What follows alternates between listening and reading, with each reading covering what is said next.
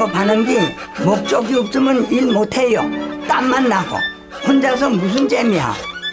음악 하는 사람이 악기가 소리가 좋아야지 기분 나서 신이 나지. 일하는 사람은 욕할 여기도 음악 소리 나.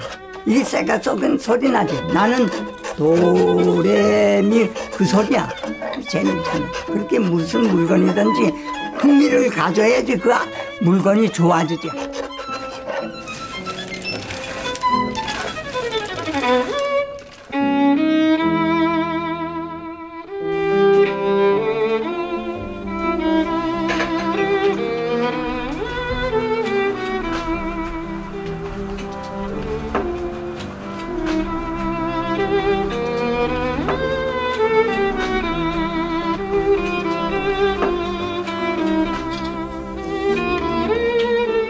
바이올린 전체가 다 외부는 칠을 하는데 안에는 칠을 안 해요. 옛날부터 안에서 그렇지 안에 칠을 안 하니까 습기에 노출돼 있지. 그 안에 습기 방지하고 곰팡이라든지 세균이라든지 모든 걸 방지하기 위해서 안에 숯가루하고 옻칠하고 혼합해서 안에도 칠을 해줘야 되거든.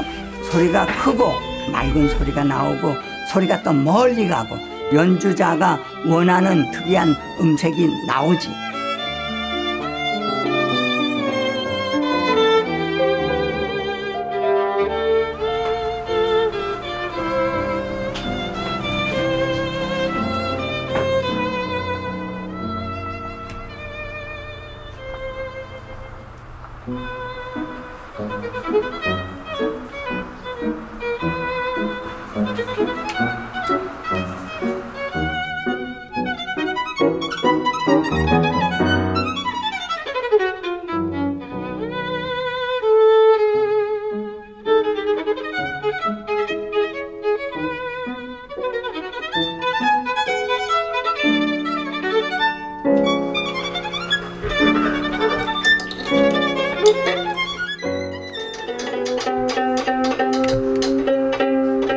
하기 때문에 한 달 할 거 두 달 해도 후회 없고 근심 없이 악기 만드는 데만 집중하기 때문에 시작해서 나올 때까지 물건만 좋은 거 나오면 만족이에요.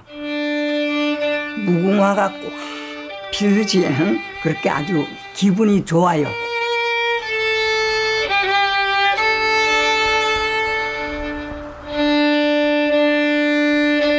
예술은 길고 인생은 짧고 계획은 계속 더 좋은 거 만드는 거지 하는 데까지 건강할 때까지